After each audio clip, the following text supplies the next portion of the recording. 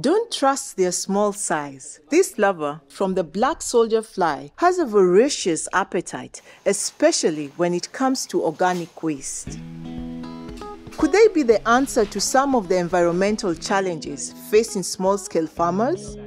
Et c'est ces petites larves-là, en voulant se nourrir, s'alimenter, vont commencer par décomposer, vont tout manger. Et la stabilité de la décomposition atteint son pic déjà à partir du 12e jour. In normal circumstances, this organic matter takes six months to decompose. But this new technique cuts the process to just 12 days. Accelerating the decomposition process allows Noel and his team to produce over 10 times as much natural compost compared to normal processing. All this without harming the environment. After 12 days, the larvae are extracted from the compost and their dejections are mixed with biochar, a charcoal powder made of agricultural waste. Together, they produce a rich natural compost able to enrich the soil with precious nutrients. And for the larvae themselves, Quand c'est sans sèche, on donne aux poissons et aux poulets.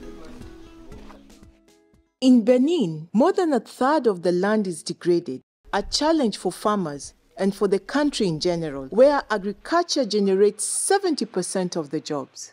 L'érosion et le faible taux de matière organique des sols sont une raison qui explique la faible productivité de l'agriculture et donc la pauvreté des agriculteurs. De plus, les effets de changement climatique comme les épisodes de sécheresse prolongée les plus irrégulières au cours des campagnes agricoles compliquent davantage encore la situation. La solution développée par Noël est très intéressante car elle améliore durablement les sols et permet aux agriculteurs d'augmenter leur rendement tout en réduisant leur dépendance aux intrants chimiques et en favorisant aussi la résilience des systèmes agricoles face aux aléas climatiques. C'est une solution à faible coût qui demande peu d'énergie et favorise la transition agroécologique des agriculteurs et contribue directement à la souveraineté alimentaire.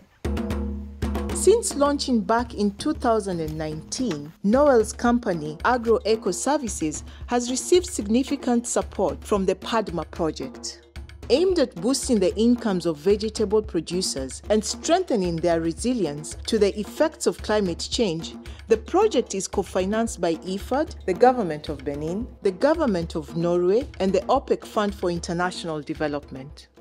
Nous avons eu la chance de rencontrer Padma à travers FIDA et nous avons pu sécuriser notre domaine de production pour sur 10 ans. Et après ça, nous avons pu avoir des équipements de production qui nous ont aussi permis de passer même de 2 tonnes par mois à 25 tonnes en 2023 et 50 tonnes à partir de 2024.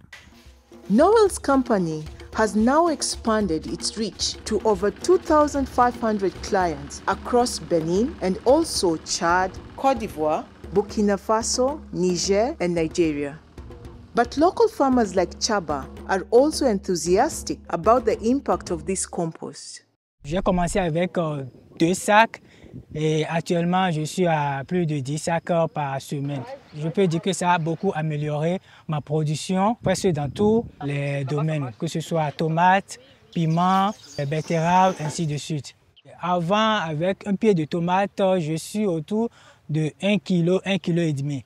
Mais le rendement avec l'utilisation du compost, euh, j'envoisine 4 kg, voire 5 même. Le compost de Noël améliore la structure des sols et grâce au biochar en particulier, il stocke durablement le carbone initialement présent dans les résidus de culture.